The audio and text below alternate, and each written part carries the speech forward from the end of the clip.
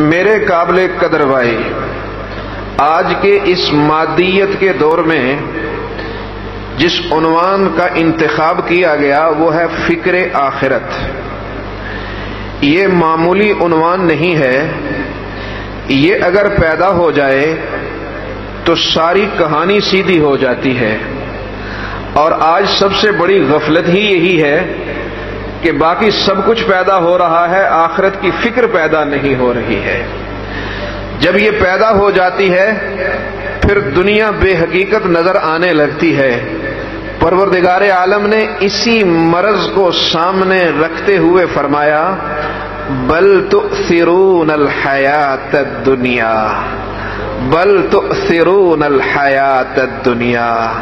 ओ मेरे बंदो तुम्हें एक बीमारी लग गई है, एक डिज़ीज़ है तुम्हें, एक बीमारी है तुम्हें, और वो बीमारी ये है कि तुम दुनिया का बनकर दुनिया का होकर सोचते हो।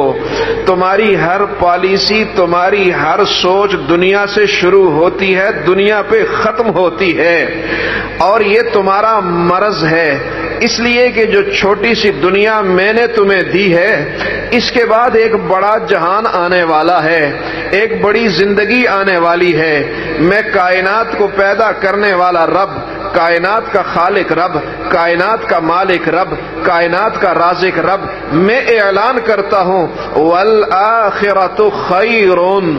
ये जो आखरत की ज़िंदगी है, यहाँ खैर बमाना कमाल के है।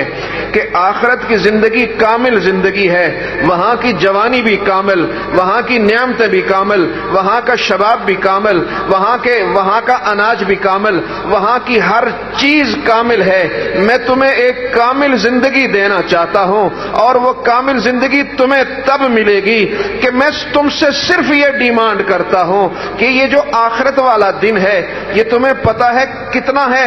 ये पचास हज़ार बरस का एक दिन है। वो पचास हज़ार बरस का दिन अगर उसे तुम्हारी ज़िंदगी पे तकसीम किया जाए तो तुम्हारी ज़िंदगी चंद मिनट वाली ज़िंदगी बनती है। ये दुनिया की ज़िंदगी चंद मिनट की ज़िंदगी बनती है।